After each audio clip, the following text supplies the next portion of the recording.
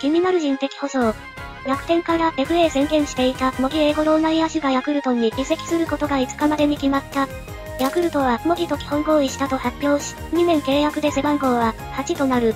ライオフには地方村上がポスティングシステムでメジャー移籍することが確実で、模擬の獲得によって内野陣の強化を図った格好。また、模擬も昨季は8試合、今季も46試合の出場にとどまっており、出場機会を増やせるチャンスとなりそうだ。その模擬の今季、年俸は6000万円で B ランクとみられる。楽天側はヤクルトに金銭か人的保障を求めることが可能で、どちらを選択するかにも注目が集まる。人的保障をめぐっては過去に様々なドラマが生まれてきただけに、早くもファンから多くの関心を集めている。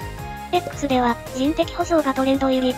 特にヤクルトファンからは人的保障やめて、お願いだから人的保障は。誰も出て行ってほしくない、頭痛がしてくる。お金で解決しよう、何とぞ金銭でといった懇願や悲痛な声が多く上がり、選手名鑑買ってきた、どのポジションも人が足りないという楽天ファンの投稿もあった。楽天が人的保障を求めた場合、ヤクルト側が作成した28人のプロテクトリストから外れた選手を指名し、獲得することができる。果たしてどうなるか。楽天の経済状況的にお金がとにかく欲しそう。それ以前にイーグルスが指名したくなるような選手いるかしら？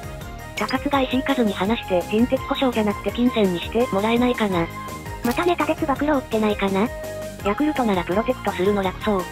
層の薄い楽天からすれば、ヤクルトは宝の残やろうし、ウハウハだろうな。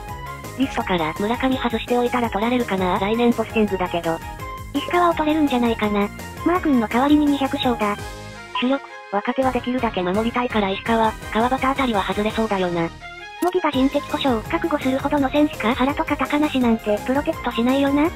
石山か金久保くれ、野手は移籍してきても出場なし即戦力外とかやりかねないからうちの球団、実力や成績というより、石井、ミスと仲が良かったり、関係持ってるイエスマン系を連れて行きそう。人的保障以外に考えられない。投手でも野手でも。人的保障付きクラスの選手が補欠だったのがすごい。